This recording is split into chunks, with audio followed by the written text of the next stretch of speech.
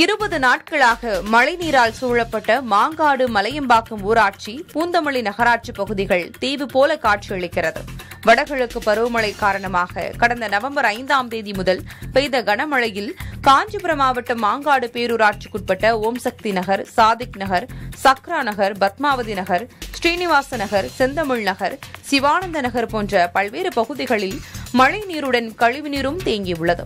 தொடர்ந்து இருபது நாட்களாக இந்த பகுதியில் தொடர்ந்து இருபது நாட்களாக இந்த பகுதியில் மழைநீர் வடியாமல் இருப்பதால் தங்களின் இயல்பு வாழ்க்கை பாதிக்கப்பட்டுள்ளதால் அப்பகுதி மக்கள் வேதனை தெரிவிக்கின்றனர். சீனிவாச நகர்ல இருபது வருஷமா மக்கள் வந்து கஷ்டப்பட்டு இருக்கிறோம். யாருமே வந்து பார்க்க மாட்டாங்க நாலு கலெக்டர் மாட்டாங்க.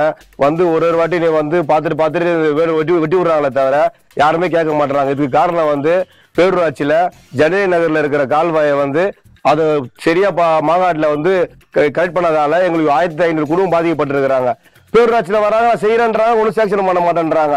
அப்ப எதுக்குதான் இவ்வளவு கவர்மெண்ட் எல்லாம் எதுக்கு செய்யும் நாங்க நிவாரணம் கொடுத்து நான் காப்பாத்திட்டு இருக்கோம் மக்களை. நீங்க காப்பாத்து நான் காப்பாத்துறோமா இதுகுறித்து பேரூராட்சி நிர்வாகத்திடம் பலமுறை புகார் கூறியும் யாரும் கண்டுகொள்ளவில்லை என குற்றம் சாட்டும் அப்பகுதி மக்கள்.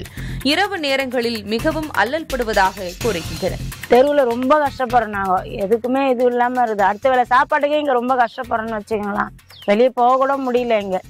இருட்டில் எல்லாம் வரவே முடியலண்ணே நான். இருட்டிலேயே வருது. பயமா இருக்குது. வரத்துக்கே பயமா இருக்குது. பாம்புங்கெல்லாம் வருது பூச்சிங்கெல்லாம் வருது. எதுவுமே சொல்லவே தெரில எங்களுக்கு. என்ன சொல்றதுனே தெரில அழையங்கானியமா இத்தனைக்கும் நாங்கெல்லாம் எவ்வளோ செலவு பண்ணி வீடு கட்டின்னு தான் வந்திருக்கிறோம். எந்த பிரயோஜனமும் இல்லை. இதுகுறித்து மாங்காடு பேரூராட்சி நிர்வாகத்திடம் தொடர்பு கொண்டு கேட்டபோது சுமார் இருபது இடங்களில் ராட்சத மோட்டார்கள் கொண்டு தண்ணீரை அகற்றும் பணி நடைபெற்று வருவதாகவும் தெரிவிக்கின்றனர்.